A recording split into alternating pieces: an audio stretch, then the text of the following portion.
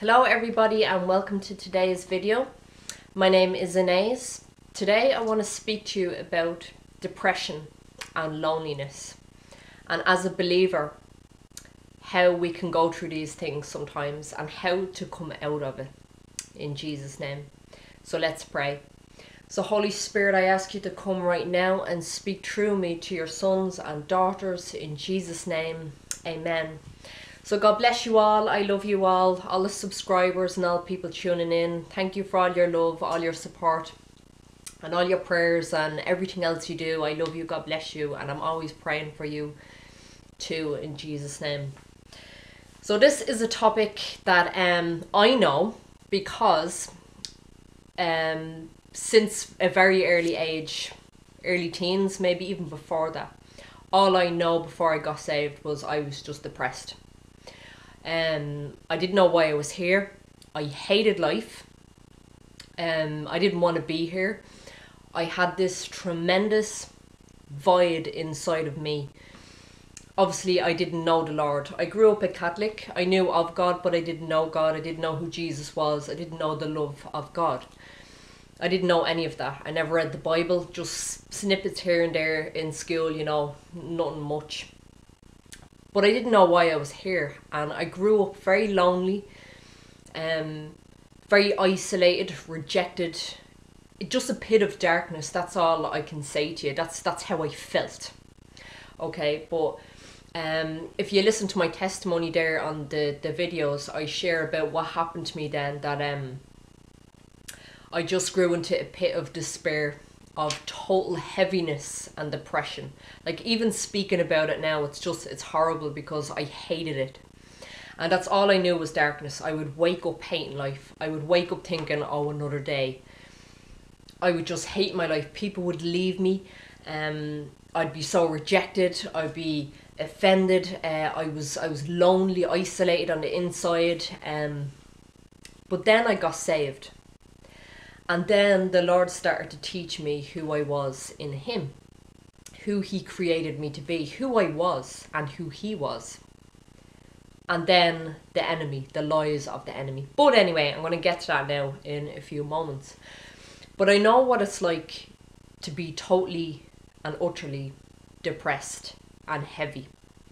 And then what it's like to come out of it and how God opens your eyes but when I was depressed and heavy, before I got saved, I turned to alcohol and pills. And I was just a fit of despair and loneliness, and I wanted to die all the time. And everything out of my mouth was negativity and death. And all I could see was darkness. All I could see was a wall. There was no point in me being here. There was no point in me being alive. I was a terrible mother. I was a terrible person. Um, there's no point. That's the way I would speak. But it was like this cloud of heaviness over me. Like, if you know what I mean, if you've gone through this yourself where you are right now, it's like a, a, a cloak of heaviness that just sits on you. You have um, no energy, uh, no desire to do anything. You don't want to get out of bed. You've you've I had no emotion. That's the only way I could describe this. I had no somebody could tell a joke or something could happen and I would have no it was actually scary you know or something would happen and I'd have no empathy. It was really scary you know and um, this pit that I was in. Um I could just see no joy in anything no joy. If we went places if we did things there was no enjoyment in me. I just had no I just had a face on me all the time just a total despair, heaviness, and but I felt so lonely on the inside, so empty. So that was the void. That was when I needed Jesus. That's when I needed God to fill that void. Okay, but then when I got saved, it's your spirit, you know, that gets saved. You get awakened. You get, you're saved. You know, you're you're reborn. But then there was the soul. Then there was I had to renew my mind. Then the Lord had to teach me who I was. Okay. But then when this happened, and then when I went through this and overcame it, then, you know, you go through life and just because you're a Christian doesn't mean you go you don't go through things, you don't go through the wilderness, you don't go through trials, tribulations. We do, okay? But you have to remember that you're victorious. That if you're still here on this earth, there is a plan and a purpose for your life. And every other thing that comes to you, that comes to your mind that you're seeing, it's a lie from the enemy. So what it is, it's it's the way you're thinking and it's what you're saying and it's what you're receiving also. You know, there's like rejection, you know, if people don't agree with you. Um, if people don't like you, they cast you out. Like we have to look at the way Jesus was when he walked here on this earth. The the things that happened to him here, you know, and then we moan about them when they happen to us. But we we have overcome these things through Jesus Christ. He has given us the victory to overcome these things and overcome debt and heaviness and the things of the enemy because He's given you power and authority to overcome these things. And then it's the case of having faith and believing it and believing the word of God. When Jesus says, when God says, I will never leave you and I will never forsake you, but yet you have that feeling of loneliness if your family left you, if friends left you, if something happened in your church, you feel loneliness. You feel a heaviness, or one day all of a sudden you wake up and there's just this tremendous weight, this heaviness, this despair, this rejection. How is that coming? Yes, the enemy attacks us with these things, but it's also our train of thought. It's what you're thinking. So just say if somebody said something to you, I don't like you anymore, I don't like the way you do this, get out of here what are you going to do? You're going to replay that over and over in your mind and over and over in your mind, and you'll probably start crying and you'll get heavy. You'll probably get a headache and then you go to bed crying.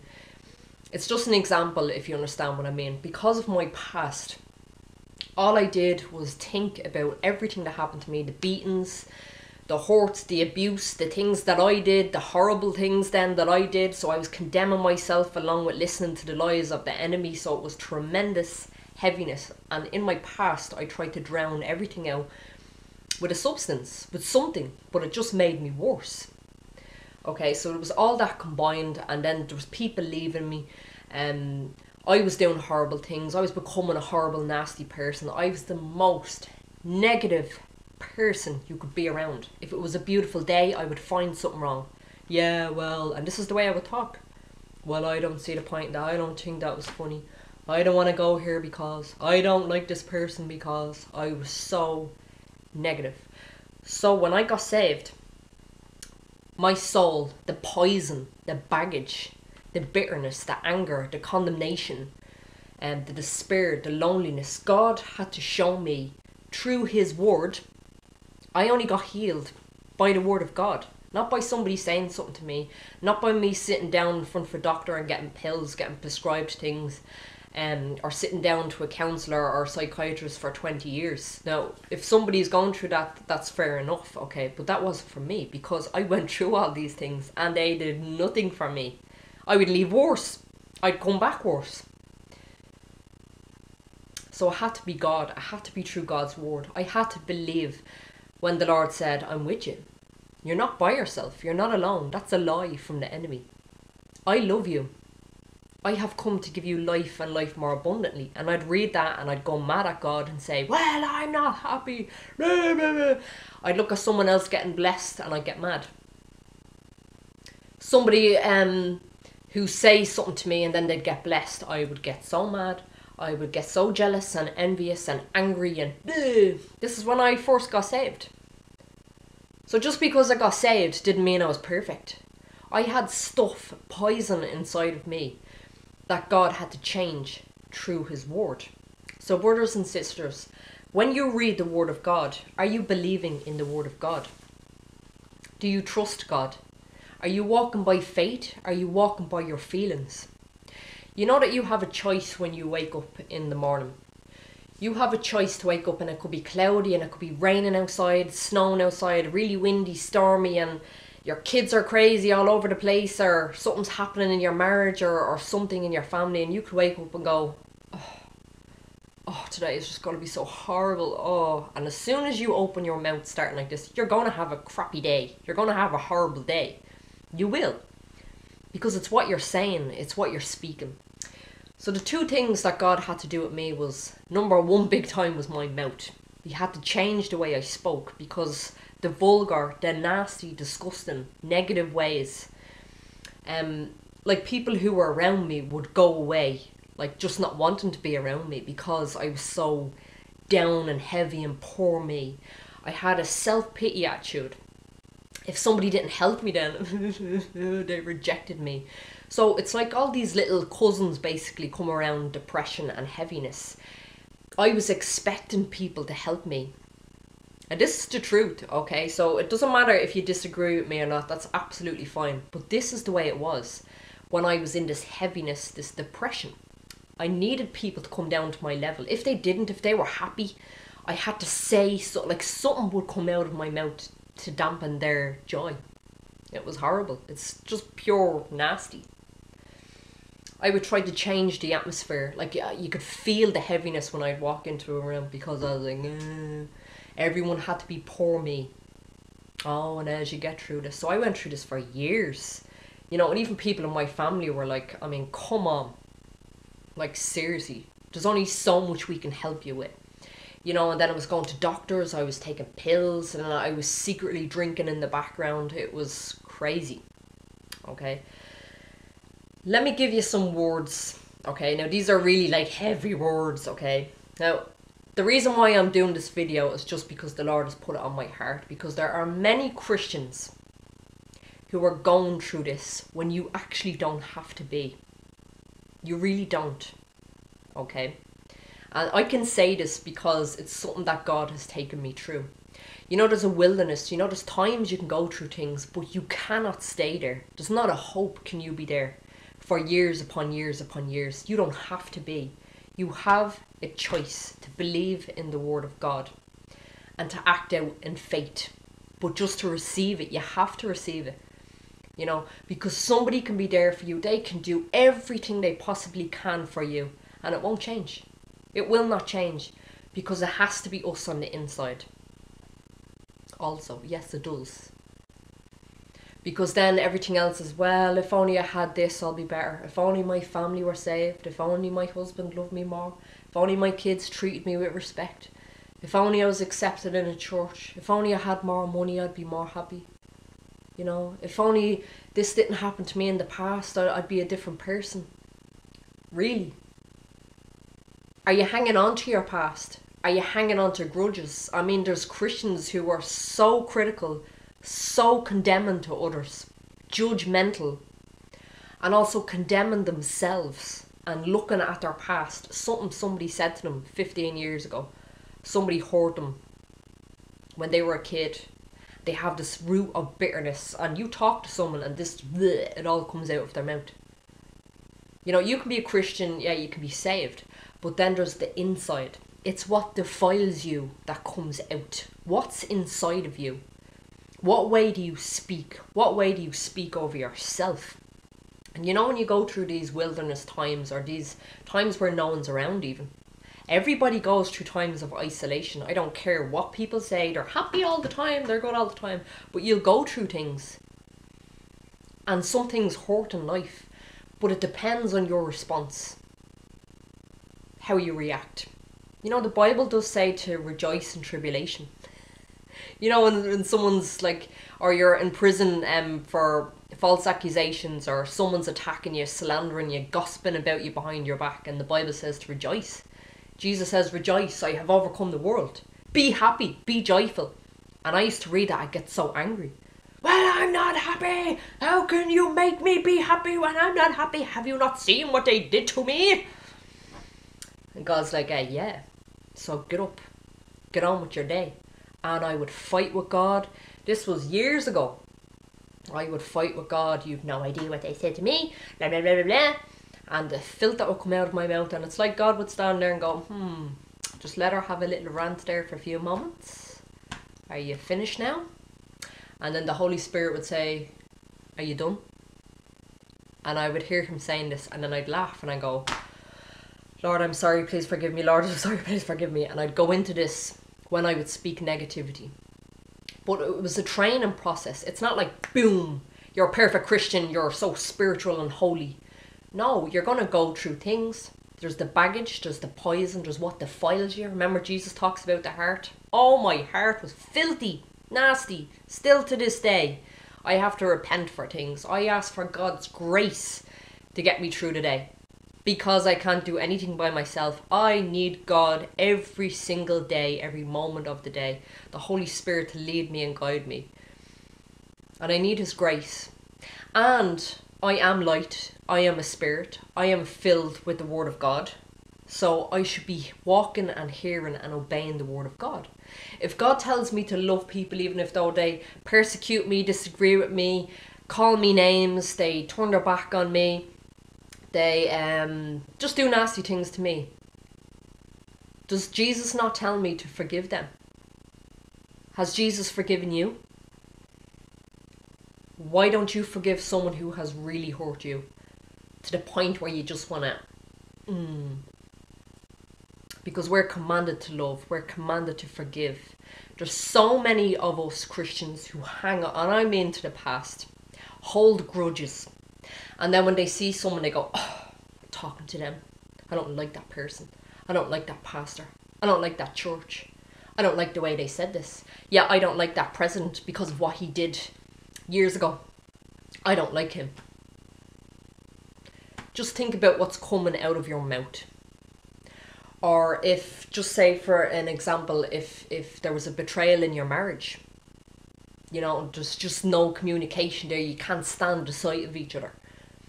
The only way that you can change or, or, or a friend that hurt you or somebody or in your workplace who doesn't like you and they're giving you a hard time, the only way is by God's grace and he gives you the empowerment. All of a sudden you you will see the fruits changing in you and all of a sudden you'll feel compassion for people.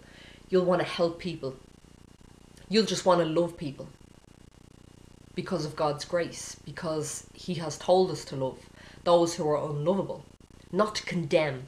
And then there's Christians with their, their bags of stones and they're throwing stones at themselves and they're like, Yeah, well, you said this yesterday. Yeah, well, I don't like that pastor because you see what they did five years ago. I don't like that person because, and you're throwing stones. Do you remember the story with the, the, the stones? And Jesus says, Have any of you sinned before?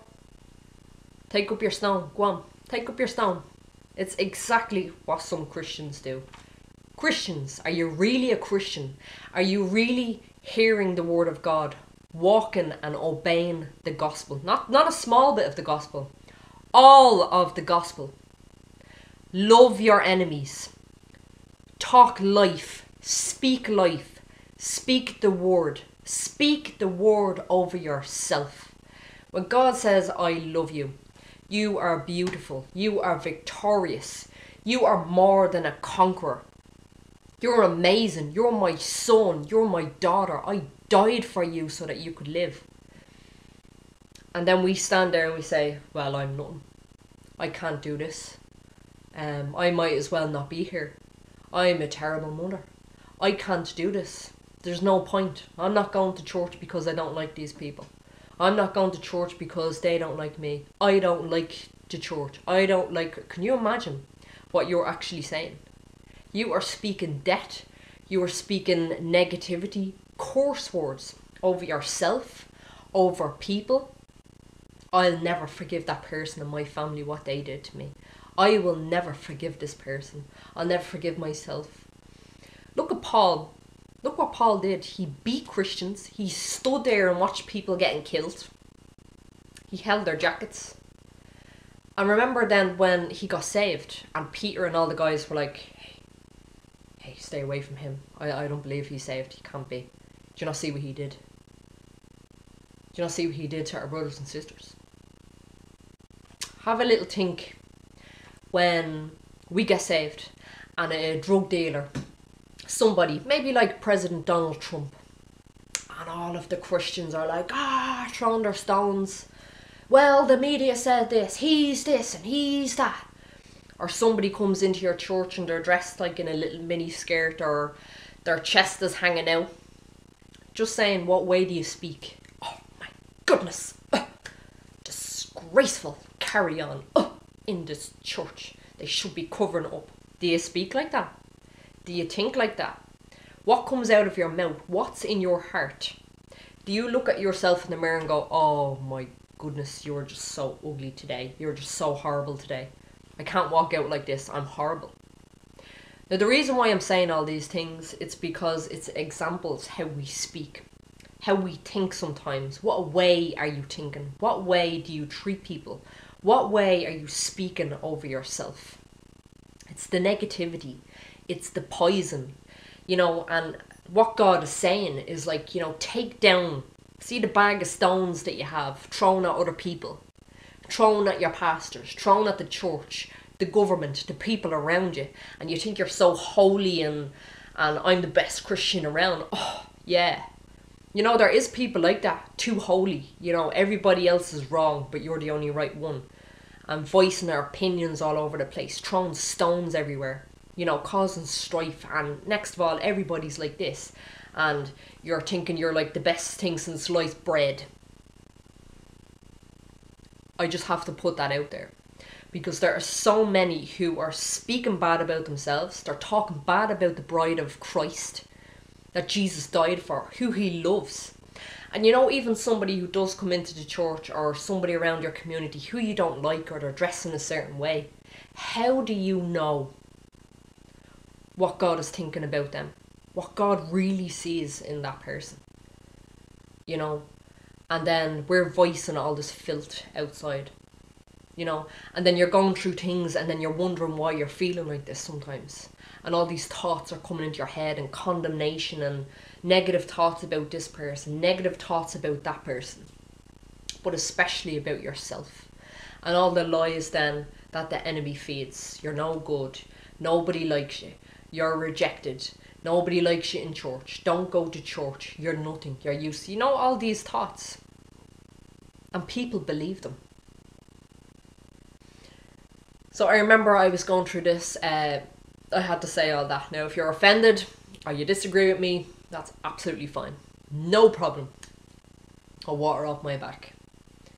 But I have to say these things, okay? Because these things are things that I have gone through and things that God has walked me through and has renewed my mind through the Word of God, and still every single day have to catch myself. Okay, especially how I speak about others the bride of Christ, and myself is very important. Then, what I'm thinking, what I am letting inside this mind, inside my head to go down into the belly, in my heart, and be careful what comes out. Read about the heart, read about what defiles you, you know, murderous thoughts, you know, envy, and about murder as well. You know, if you don't like someone, if you hate someone, if you say horrible things, what does the Bible actually say about murder? If you hate someone, if you have a grudge against somebody, if you're holding someone um, who did something to you like 10 years ago or 2 years ago or something, or somebody robbed your money, something like this, you know, and you just hate the person. You know, Jesus says, you know, that's like a murderer in your heart. You know, we think, you know, if you look at the law, oh my God, that was terrible. But if you look what Jesus said, you know, if you think that way, that's murder in your heart. If you look at a woman with lust in your heart, if you're like, hey, and you're going off and you're watching porn, what does Jesus say about that? That's adultery. You know, if you're married and you're sitting there watching porn secretly, you know, when the person's gone out, or whatever it is you're doing to yourself, just be careful. So with depression and heaviness, all right, and even people who I loved so much, I have tried so much to help. There was a certain person in my life years ago, and this person and I knew was going through such a hard time. And you know when someone is there's something wrong, you know, especially someone in your family, or if they're not getting out of bed, if they're just, you know, there's something wrong and I spent so many months just trying to help this person. And if I was going somewhere, you know, I'd say to this person, you know, come on, do you want to come with us? You know, do you want to do this? You know, trying to help the person. You could put all of your energy into somebody, all of your money into somebody, but if they don't want to change, you know, you have to move forward. There's times that God will say, leave them to me and go forward because all your time, all your energy, and then you're getting down and you're like, oh, and your day is dampened, you know, and you're like, oh, you know. But if somebody is like this for years and years and years and years, and they're just not getting up, just sometimes there's times you know that that you have to just walk away you have to take a step back you know because people will depend on you as well and they'll expect you to be there and hurt people hurt people you know and i mean i was hurt by certain people then because i had to move on. Like i had to go forward. Not that i dropped people. This is a person in my family i'm speaking about. And then they lash out at you and it's all oh, your fault and, and you're like whoa. And there's like big strife and division and everything you know and you're like trying to help this person and you're going out of your way to help this person but it's nothing got to do with you this is where the conflict can happen as well in friendships families churches you know that's why when people are hurt they're wounded offended you know and you have to tread on eggshells you know in case you hurt the person or say something wrong you know and they're like oh look what you did to me look what you said to me and it's true because this is the way i was and if somebody looked at me wrong, if they said the wrong thing, I'd, and I'd be like in a pit of despair. I'd cry all night. It was ridiculous. But it had to be God. It had to be God, His word, to shine through me, to get this filth out of me, because I wasn't just hurting myself, I was hurting other people. And even when this got said to me, you know, I was like, You're saying it's all my fault. Why are you saying it's me? I mean, people couldn't even talk to me it was crazy, you know. And so God had to do this work in my soul. He he had to get rid of all this poison, this baggage. The way I spoke about myself, number one, what I thought of God, especially what I was saying about people, and people trying to help me, and then saying uh, judgmental, critical, condemnation things to others as well. Oh, this the stuff that came out of me was unreal. I'm telling you. So, the reason why I'm saying this is because I know God is trying to help people out there right now and people are going through these things you know and when there's times of wildernesses don't think that you have to stay there. You know i mean we have come out of this. And people are some people say you know oh well you have to go through it. You, you know you, you, it, there's a time of this you're going to go and people like yeah yeah yeah and they like the fact as well of staying there and they want people to just like you know, oh, let's stay in the wilderness for a while, you know, yes, we all go through these things, you know, I know how you feel, and let's talk about all our bad things, you know, for, for two hours, and then you're just totally drained. You have to speak the word of God. The word of God is power, it's life, it's light. Okay?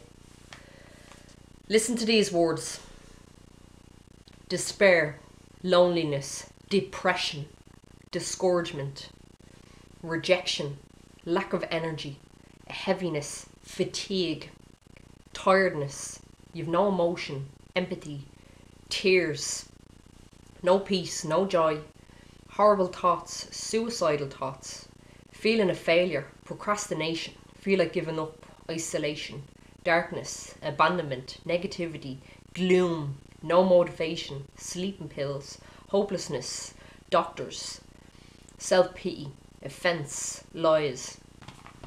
There's a reason why I'm saying this, okay? Does that not drag you down by me even saying all that? You know, um, in my past, I was totally, totally suicidal. I just, like I said, I'd wake up, think, how will I kill myself? How will I do this? Where will I leave the kids if I do this? That's all that was going through my mind. And everything that people did to hurt me. It's also you're focused on yourself your eyes are not on God at all. It's all in you. You have to think about that. Okay? I was on all these pills then try to get better. I went to counsellors and I was just sitting there, I was coming out 10 times worse when I would go to these things. All I would think about, I'd focus on what this person said, I'd focus on what this person did over and over. It was like just a broken record going in my mind, and I actually, that's why I wanted to die years ago because I couldn't stand what was going on in my head. And I used to say that it just if my head would just be quiet. But then I got saved. But then I had to learn how to apply the word. So even though I was saved, I had no idea why I was still like this. And I'd look at other people being blessed and be happy, and I couldn't understand it. How was I not there yet? So it took a long time. Um, for me to believe this, to get this in my spirit, to understand, to believe the word of God. So I want to ask you today do you want to get better? Do you want to go forward? Would you like to stay and pitch your tent in the wilderness for another month, another couple of years? Or would you like to get better? And the one thing that I found is, you know, especially with me, people could be there for me. And I remember there was certain people who were always, always there, and I liked it. When I actually think back now, it was like, yeah, yeah, they're there, and they're rubbing me, and they're they're helping me, and they're helping me, and you could see them kind of going, you know, like we want to enjoy our day. Come on, Inez, you know. But then if they did go and enjoy their day, I'd get mad, and I'd get offended. You know, why why won't you sit with me? Why won't you be depressed with me? And it's a reality because I went through it. Okay, so let's move to when I got saved. To the training, to the years then of God dealing with what was on the inside. You see, because your spirit, you're in this body. We're going to be changed in the twinkling of an eye, okay? But this thing here, and the heart, and this up here, the battle, big time is in the mind. And you can listen to the lies of the enemy. You can talk negative all you want all over yourself, if you like and point and throw stones at other people all you want? Or are you going to be a hearer and a doer of the word? Are you going to believe God when He said, You're not alone because I never leave you or forsake you? You know, I think as well that um, we get so dependent. It's like, you know, as a Christian, you need to have Christian friends. You need to be around certain people. You need to have loads of family around you. You need to have a boyfriend, a girlfriend, a husband, or a wife. You need to have someone. Can you not be content in yourself in Christ? Or do you have to have people around you? This is also another thing. I had to have a boyfriend all the time, I, otherwise, I was alone. I had to have 10 people around me and drinking and parties all the time because otherwise, I was alone. Or was I alone? Just, just think about that. I love even being by myself now. I love going for walks. I love working out, going to the gym, breathing in the fresh air, spending time with God in the Word, praising God, worshipping. I don't need to have five or ten people around me, or a boyfriend, or a husband. Great if God brings one along, but I'm content in myself with Christ. Because I know He's with me, I hear Him every day, I feel Him every day. Even if I don't, I know He's there because I believe Him and I see his miracles every day. But when you get to that place, it is so rewarding and refreshing and satisfying because then you're not running around trying to fit in with cliques in churches, in in courses, in colleges, schools, around people. You know, it's like this hunger you're looking for. This did Jesus fill that void inside of you, or are you still trying to fill it with sex, with people, with whatever? Oh, I, I need to listen to this, I need to look at this, I need to be around here, I need to go here. Otherwise, I'm lonely, I'm, I'm isolated, I'm depressed, I'm sad. Just kind of think about that just for a second, right? So, even God said that to me, you know, about just resting in Him and knowing that He's with me always. And I don't have to be dependent on people because you'll have unmet expectations from people. You'll be getting offended if somebody says the wrong thing to you, you'd be all over the place. You'd be wounded. You know, and then God has to heal all that. You know, but you know, we can be like waves. You know, you can be okay one minute, depressed the next minute, up and down, like bipolar. I had all these things. So whether you disagree with me or not, that's absolutely fine. But these are things that I went through, and this is what God had shown me and then he had to teach me to come out of it only through his word. So if you're not believing in his word, and if you're looking for prayer all over the place, you're going to this one for prayer, you didn't really like that prayer, so you're going to this one for prayer, you don't like that pastor, so you're going to this pastor, you need five people to pray for this. Do you need five people to pray for you? Do you need prayer for the same thing over and over and over again? Or do you believe the word of God and speak and declare it over yourself? Because God's word is powerful, it's sharp, it's alive, it works, it does. You just have to believe it. Yes, we can get prayer, but you have to know that you're anointed. You have to know that there's power. that there is authority that Jesus Christ gave you, are you using it? You see, the enemy doesn't want you to know who you are. It's all about your identity. It's all about knowing who you are. Because if you don't know who you are, the devil will have a field day in your mind. He'll use people around you. When do you get hurt when you're saved? I don't get hurt by people in the world. It's people on the inside that throw stones at me. That try to wound me. They can try, but you see, I know who I am in Christ. And God makes you mature and He makes you stronger. Just like Jesus. Jesus just went from town to town. You never read where Jesus cowered in the corner. Oh, they all hate me. They cast me out of the city. They tried to push me off the cliff. They don't like me here. Half the disciples left. They don't believe what I'm saying, God. I didn't read anything about Jesus being like that. Jesus knew exactly who he was. And the enemy would say, if you're the Son of God. If, and then all the Pharisees were trying to question him and test him and um, they didn't believe him and even his disciples were like and half of them then left. And as well it's like you know you don't need people around you all the time. You know people will disappoint you. People will drop you. People will hurt you. Do not let stuff like this affect you. Do not let what people do or if they disappoint you you know drag you down. Move forward. We are people in the army of God, the army of Jesus Christ, you have to go forward. Don't put your tent up in the wilderness and stay there and go, okay, I'm coming out of the wilderness. Okay, I'm going to stay in the wilderness. This person said something to me. Oh no, I'm in a fit of despair. Or you wake up in the morning and you're just like, you feel. Do you ever get that total, I mean, it's like a cloak of heaviness. Now, this is what I went through and it's just like your mind is being bombarded and all of a sudden you're like there's no point in getting up. I'll stay in bed all day. Nobody likes me anyway. Well and you're just walking around going uh, i just feel so horrible today. I won't go to church today. They don't like me there anyway. I used to be like this. I'm serious. You have a choice when you wake up in the morning to go no get off me do you know as soon as you do that, it will leave? I promise you this because God had to train me. It's a renewing of your mind with the Word of God. Speak it. This is the day the Lord has made. I will rejoice and be glad in it. Praise the Lord. Oh, it's raining and the storms outside. I'm going to have a great day anyway. Praise the Lord. What'll I do, Lord? Let's do something. Just renew your mind. Start speaking life. When you start to speak life, you'll find that will lift off you. Nobody can help you. People can be there to encourage you, to lift you. I can do what I can for you. You could be depressed for 10 years and I could say every nice thing to you and mean it.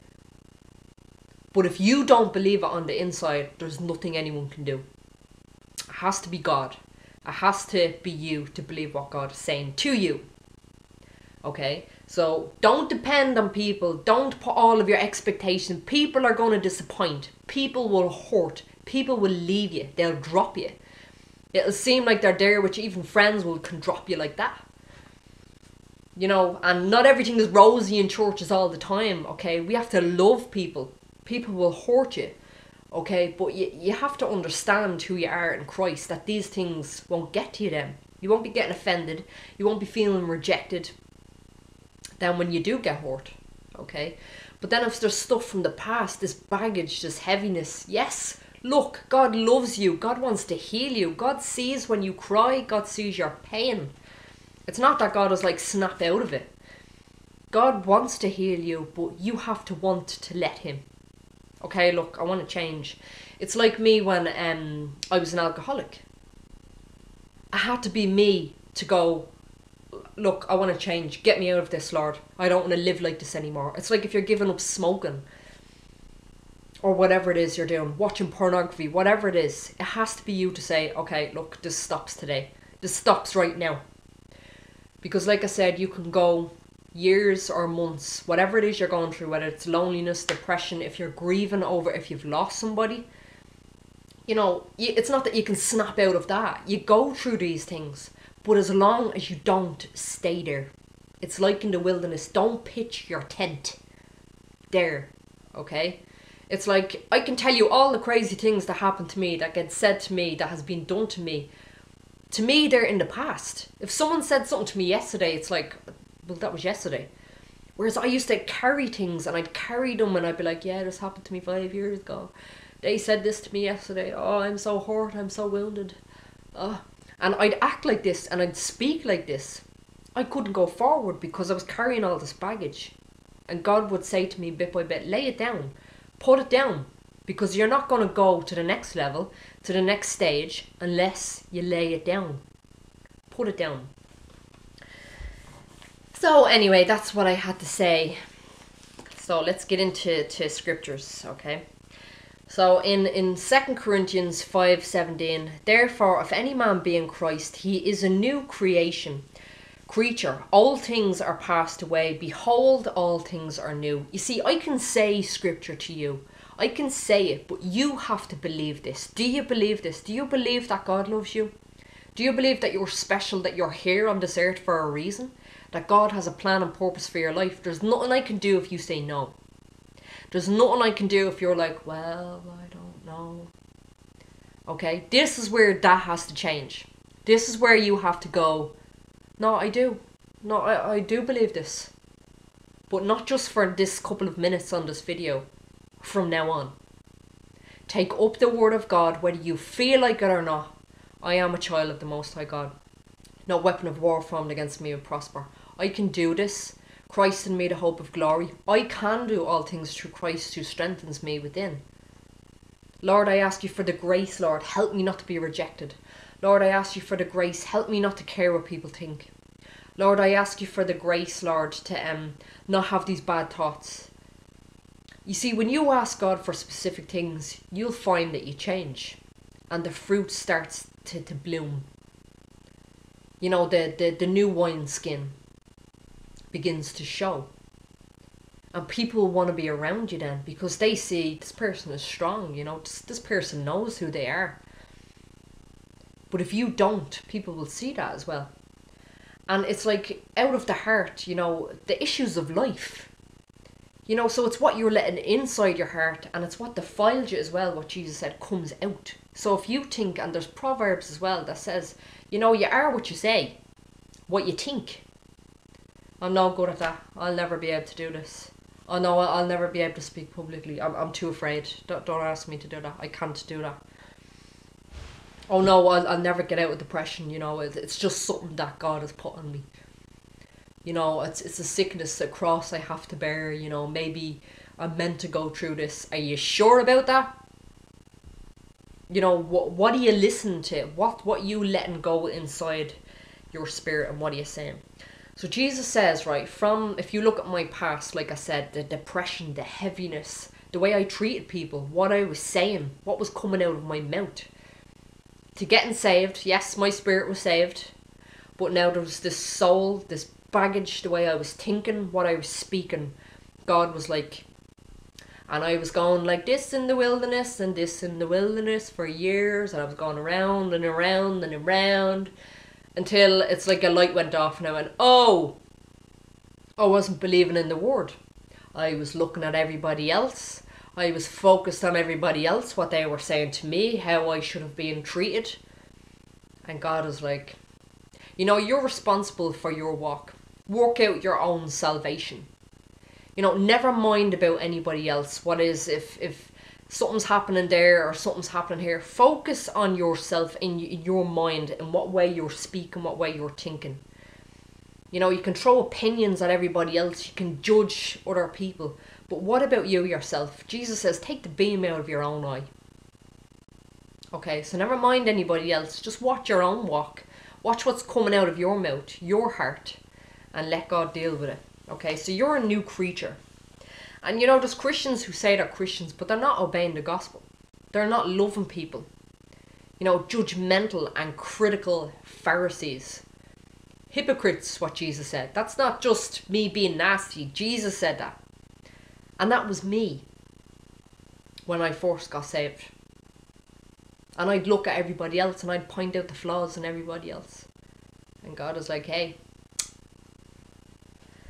So, anyway, So my mouth had to get saved, my soul had to get saved, my mind had to be renewed.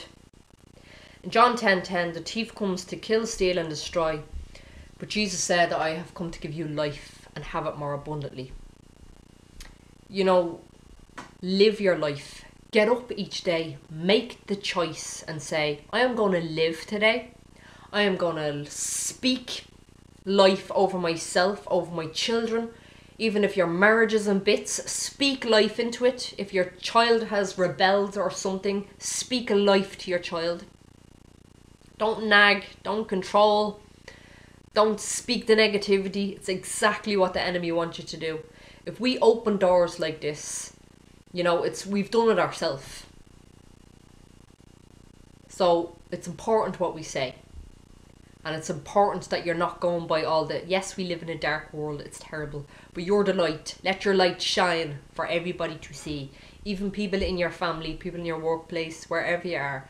Okay, they need to see Jesus in you. You know, and when we get saved, it's not like you know you're living this this terrible life that everything is a tribulation, everything is just horrendous and hard and all the time. I mean, seriously, when I look back when I first got saved, I was just the most negative person. Yeah, well, I'm going through this and I'm going through that, and no, never gets better. No, I couldn't live my life. And I think I shared this on another video. I, I was sitting on the beach one day. This is years ago. And I was so sad, and everyone else was being blessed, and I was going through this horrendous thing. My family wasn't talking to me, friends left me. I was going through this, and it's what you have to go through as a Christian sometimes. But I was living in so much like, eh, and I was so heavy. And I was sitting on the beach and I was looking out at my children playing in the water, and I was just like, oh, my life is so horrible. And the Holy Spirit spoke to me and said, I am not going to bring you forward unless you learn to live your life and to be happy. I'm going to teach you to enjoy yourself. And I listened and I'm like, enjoy myself? To have you no idea what I'm going through? So I was talking back like this to the Holy Spirit, and the Holy Spirit didn't say anything. And that was it. So I pondered on that. And then years went by, and God would just, it was, see, God goes with you. You know, He gives you a choice, but it's up to you to take it. It's like if I was to give you a hundred dollars, a hundred euro right now, and you'd be like, "Oh no, no, no, no, it's okay, no, it's okay." If I'm like, "No, here, I actually want to give it to you," and you're like, "No, no, no, no, no, I, I can't," and it's like, well, "Okay then." You know, and somebody's giving you something, and Jesus is like, "I'm after giving you life." You know, and you look at Paul, you look at the disciples, and they're being beaten. They get thrown out of um uh, cities and towns, you know, and they're singing, they're praising the Lord in jail, being beaten after being whipped. Look at Jesus. He'd sit down laughing with Lazarus and, and Mary and all them after he was just condemned and, and nearly cast out of a city or, or, you know, the way they treat him. And Jesus is there just having a great time with the disciples. And he loved speaking with them and, and laughing. And that's something that that I love to talk with, with, with Jesus, you know. I, I'd love to be sitting at a table, you know, and chat to you the way you chat to the disciples and Mary and, and what did you laugh about and, you know, little stuff like that. They're like my conversations that I have with the Lord, you know, because my prayers were all the time, it wasn't even talking to God, it wasn't a relationship, it was just a moaning. I would murmur, moan, and complain all the time I, I couldn't even see the joy. I couldn't see happiness anywhere. But God had to open my eyes. And even though you're going through hard times, you can be joyful. It's the joy of the Lord, it's the fruit of the Spirit. It's in you. Love is in you, kindness is in you, self control is in you. Yes, self control. It's one of the fruits of the Spirit. So if you're saying, I can't stop this, I can't stop that, yes, you can. You actually can okay? it's just renewing your mind, that's all. Matthew 11, 29, um, 28, sorry. Jesus said, Come to me, all you who are who labour, who are heavy laden, heavy burdened. You know, Jesus wants to love you. Jesus, Jesus wants to love you. Jesus loves you. But he wants you to rest in him, to know his love, to know that he's with you and that he never leaves you. In 1 Peter 5 7, casting all your cares and anxieties on him because he cares for you. So, you know, we fear and we worry and we've all these bills coming in, or if you've a, a course you're doing or a test you're doing, something, and you're like, you're just worrying to bits, and your kid has gone astray, your, your marriage is failing, you're like, oh, you're worried. Jesus like, give it to me, let me help you. He's there to help you, He loves you. You know, believe His word in Philippians 4 6, don't be anxious for anything, but in everything by prayer and supplication with thanksgiving, let your requests be made known to God. And the peace of God, which surpasses all understanding, will guard your hearts and your mind in Christ. That's very, very powerful there. Let your requests be made known. Lord, I'm going through this. It's not like God doesn't see, of course, He sees. But He says, let your requests be made known to Him. And thank you, God, that you're, you're going to do this work. You know, even if your family are not saved like 10, 20 years later, you know, don't be worrying, don't be crying over that. God is doing the work, whether you see it or not. Because when you pray straight away, it's being done. You, ha- you just have to believe His word, and God says that He'll guard your heart and your mind. How do you how do you guard your mind? You know, like if you don't like someone or someone has said something to you, or you see someone who hurt you, or something's going on around you and it's just replaying over and over and over. Or when you wake up in the morning and your mind is like going like this and you're sitting there for 10 minutes going, just just think about it, right? And you're, you're listening to all these thoughts going in your head and you're like, oh yeah, oh yeah. And then you start talking. Yeah, maybe that's right. Maybe that's right. Or if you're listening to all these lies about somebody who did something yesterday and all of a sudden you're you feel it, don't you? on the inside and you feel angry and you feel agitated, then you see the person, you're like, and then it comes out. Or you, you, you voice out your opinion, or your, your body starts to speak, or you lash out. It's because of what you were thinking. I know it's hard for some people to kind of get this, but it's just the way it is. You have self control. You have the power inside of you to change things to change when you walk into a room to go, hey, let's do this today. Let's start this. Let's go here. Let's go to the beach today. Let's have fun. Or you can get up or walk into a room and go, hey, how are you today? Praise the Lord. I'm going through tribulation. In Psalm 23, though I walk through the valley of the shadow of death, will fear no evil. For you are with me, your rod, your staff, they comfort me. So when we go through hard times, difficult times, painful times, times where there are tears and, and just hardships, God is with you, okay? Now, if the Bible says you can rejoice in these things, it's only God that can do that in you, okay? So it's easy, it's like you're listening to me and probably looking, um, yeah, it's easy for her to say. I've been through these things. I've been through the most horrendous, horrible things. Even in my walk with Christ, there's no point me going into them. Everything.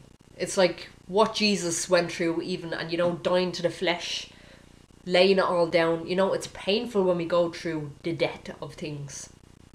Especially with the flesh, when God is, you know, laying this down, lay that down, lay this down, and it can be painful, you see and then his resurrection life then his light is the one that lifts you and carries you on forward where you don't look back and then a year later you go oh my gosh remember i was like this a year ago i can't believe i went through that and that's how you know you're maturing. That's how you know you're different when you're responding different to something that you would have lashed out at before or you would have um, treated this person horrible or nasty before and now all of a sudden you've compassion you, you have love. That's how you know when you're going to a new level when you're maturing in christ when you're changing.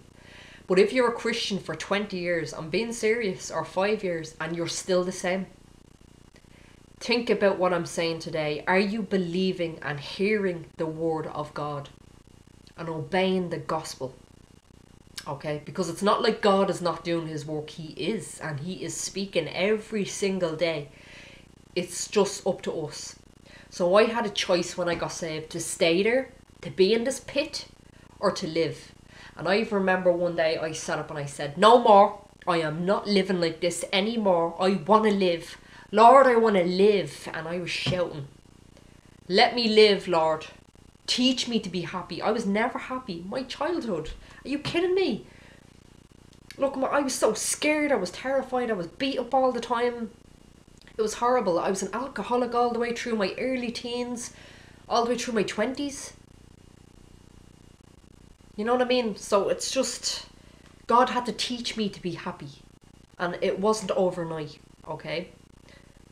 So it was like um, progress. So in Proverbs twelve twenty five, anxiety in a man's heart weighs him down, but a good word makes him glad. So you can encourage people, people can encourage you, but the rest is up to you. You have a choice if you want to live, or a choice to stay there. You know, it's like if um, it's the way you live as well. You know, um, if you're messy or um, live in a certain way, or um, you tend to overeat. People who watch porn, people who smoke, it's just different things. Okay, you have a choice if you want to change it's just like people who go to jail. They can come out and they can hang out with the same friends again, get back into drugs, hang out with the same friends again, get back into robbing, thieving. You know, it's it's who you hang around with. It's what you're listening to. And then you have a choice. It's just the way it is. So that's like when you get saved, you have to come away from things of the world. Jesus doesn't say isolate yourself. No. You have to let Christ live through you and love people, okay? But it's like if you're still hanging around, not that you can't hang around with them people, but it's like I don't go clubbing, I don't go drinking. I can go to a pub and sit down and have a cup of tea or coffee and talk to someone. That's absolutely fine. I can be around people who drink but I don't talk the way they talk. I won't sit there and act like that. Like Jesus didn't go like and, and start to talk like in a sinful way. He was sharing the good news, the kingdom of God. Okay? So it's it's what you're saying and it's as well, okay? So in Hebrews 12 2, look unto Jesus, the author and finisher of our faith, who for the joy that was set before him endured the cross, despising the shame, and sat down at the right hand of the throne of God. Amen. Did I just read that for the joy set before him? Have a little think about that. So you can depend on people. You can become um. Uh, you you do get that self pity as well, the poor me talk. So that was the way I was, and then if people didn't give me that, I'd I'd get angry, and it would come out. So it's it's just it's a nasty way to be as well, you know, and yes, it's darkness and yes, it's heaviness. Yes, people need help. I understand that. I've been there. But if you won't change and you want to stay there and you're dependent on people to come down to your level, there's, there's a problem there.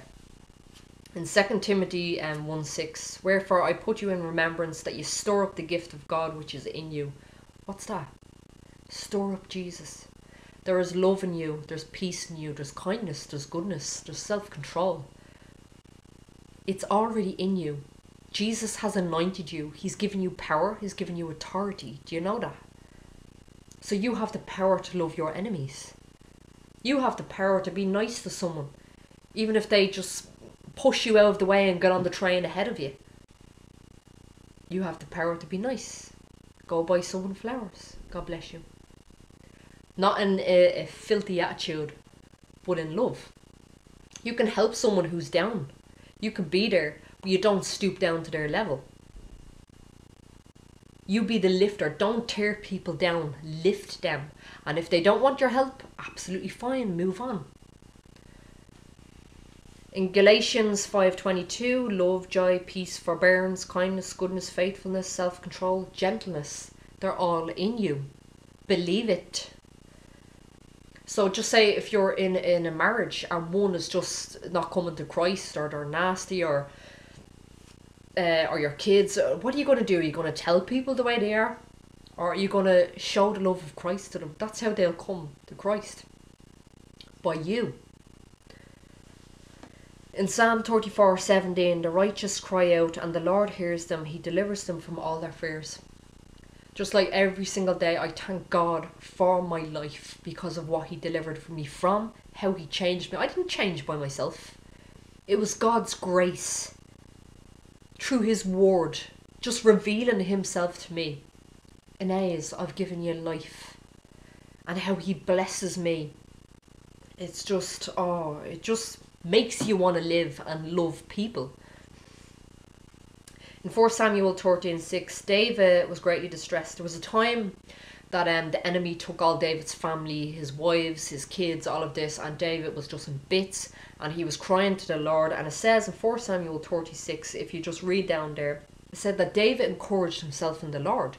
You know, there's probably nobody around to encourage you. There's probably nobody around to say, hey, you did a great job today, well done. You look really nice today. Is there anything I can do for you today? You probably don't have that. Some people are lonely, are alone. I don't mean lonely. God is always there with you, but don't have people around them. They probably don't have family, probably not a church around them. Okay, but this is where you have to store yourself up in God. Store the gift up. Encourage yourself in God. Lord, I'm going to live today. What do you want me to do today? I think I'll go out and plant some flowers today. See if they need help down here in this place. Help these people over here. See if they need help or will help them paint their house or something like that, you know. You know, when you're going through things and when you help others, it's very satisfying and rewarding. That's how you know you're walking in the spirit when you walk in love. It's just love. Love fulfills the law. It's like when you walk in love, when you love one another, when you love the Lord God with all your heart, soul, strength, and mind. I'm going a bit over time here, but anyway, I'll try and get, get done here. In Deuteronomy 31, the Lord Himself goes before you. He'll be with you. He will never leave you or forsake you. So if you have people, if you don't have people, God loves you so much. He will always put people in your life to help you, encourage in words, because that is God. Every good thing comes down from the Father of lights. You just have to believe, okay? And it's not a condemnation thing either, okay? Don't even think that for a second. It's just about renewing your mind, casting down every thought, everything that exalts itself against the knowledge of God, and bringing every thought to the obedience to Christ. So when you get this thought saying, oh, you're this, or, or feeling of heaviness feeling, you don't go by feelings, you go by faith. Not by what's around you and not by how you feel. You have to understand that. Just train yourself and, and, and learn that. It's something that I had to do every day. Okay, so God is with you and He'll help you. The Holy Spirit is your best friend, your best teacher. And I'm telling you, without the Holy Spirit, I couldn't have done this because it took a while. People dropped me, people left me, People in the church gave up on me. That's absolutely fine. Even people who were meant to be, who I thought were with me, dropped me. I let all these things get to me. But you see, if you lean on God and you know who you are, you know, you, you won't look at these things. And then when you see these people again, you'll be like, oh, hey, how are you? And you won't think of the fact that they hurt you, or they left you, or they betrayed you. You know, there's even times that people want you to say sorry to them but they'll never say sorry to you. You have to let stuff like that go, okay? Because you probably never get an apology off somebody, okay? I just felt I had to say that.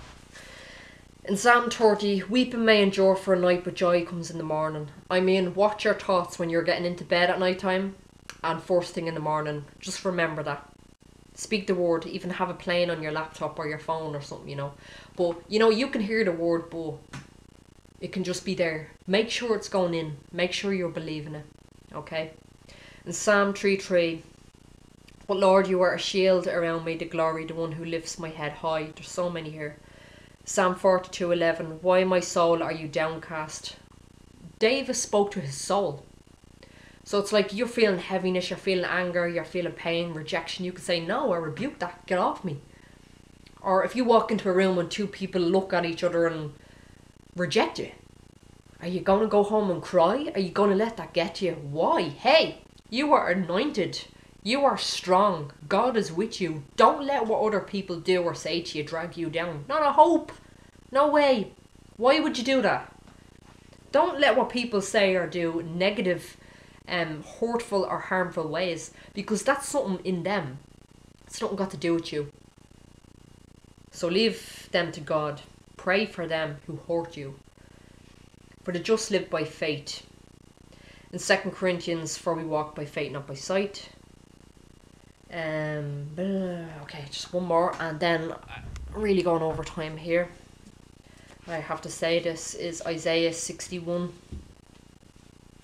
The Spirit of the Lord God is upon me, because the Lord has anointed me to preach good tidings to the meek.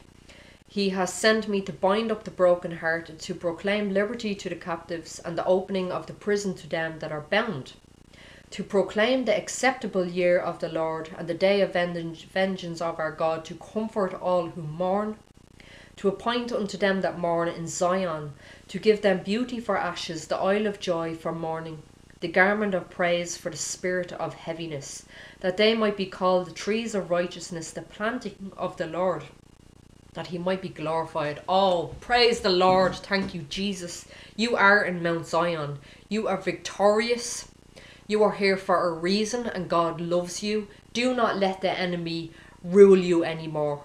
Step up. You are the head and not the tail. Don't listen to the lies of the enemy anymore. Get up. You know, set goals for yourself. It just it starts with small things as well. You know, like um get up and and do your hair. Go and buy something nice for yourself. Treat yourself. Clean your home. Do little tasks, you know, um get a notepad and say, right, I'm gonna do these things today, I'm gonna read the word for this amount of time. It's not like legalism. It's just living life. It's going forward. You know, setting goals for yourself. You know, all these little things, they matter. They really, really do. Okay? And God wants you to live. And He wants you to love Him with all your heart, soul, strength, and mind. But He wants you to love others. But also, forgive yourself. Love yourself. Because you are worth it.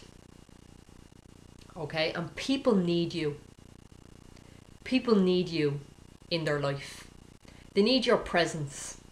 You know, they need God, yes. But look, sometimes we forget about ourselves. Okay, to look after ourselves, our own well being, our own mind, okay? And this other thing I can't stand it. You know, when people um it's whether meetings or churches or women meetings, whatever, you know, and we make out that everything's okay, I walk by faith, I walk by faith, I walk by faith, but you're broken on the inside. Don't ever be afraid to share how you how you're feeling or what you're going through with someone. You know, I can't stand that when people say, "Oh, you've walked by faith," or "Do this," or "Do that." It's good to talk because when you get things out as well, you know you're healing, especially with someone who really does care for you and really wants to help. You know, and you know that they're not going to condemn you and bash you. You know, uh, they'll help you along, but don't depend on people. Okay, people are there to help you we're there for one another to lift each other. Okay, so don't ever be afraid to to say how you are. It's like um here in Ireland, there's a lot of people, especially men, who take their own lives. I mean, it's just oh, and you could be talking to them and they seem fine, and then you get the news the next day. You know, they they hung themselves or they did this, and you're like, oh my god, I was only talking to that person the other day. You know, it's it's people they're they're afraid to talk. And I'm not just talking about going to counsellors or psychiatrists, someone in your family, someone in your church. You know, especially with men, don't be afraid to say something. You know, I try even to answer so many emails from people, you know, and what people are going through because I like that as well. You know, if, if I'm struggling with something, to just say, hey, listen, I need prayer for this. Will you stand with me in agreement for this? Don't ever be afraid to do that. Yes, you have authority. Yes, there's power. Yes, God is there. He never leaves you or forsakes you. But don't be afraid to share what you're going through or if you need help to somebody, okay? Don't bottle things up on the inside. I always say that to my kids. Look, is there anything you want to talk about? I was a teenager once. Do you want to talk about anything? You know, just be real with people. Be real and genuine, but genuinely care for people. Okay?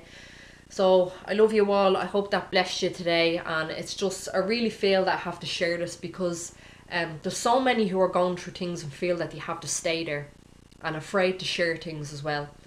Okay, so we need to balance it out. We need to be there for each other and don't ever be afraid to share with people, you know, what you're going through. And if you are struggling in the background, and then going around or into church or meeting say yeah everything's fine everything's fine everything's fine.